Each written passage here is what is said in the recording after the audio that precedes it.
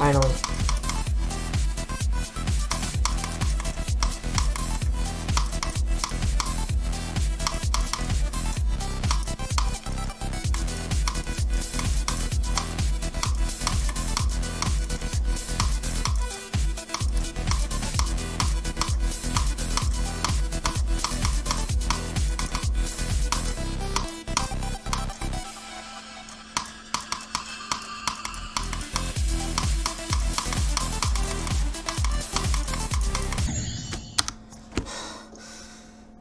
You know, I'm not mad, but I am mad that I died there.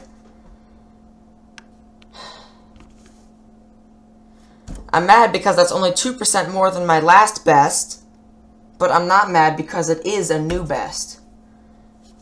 Oh my god. I don't know what to feel right now. Ah.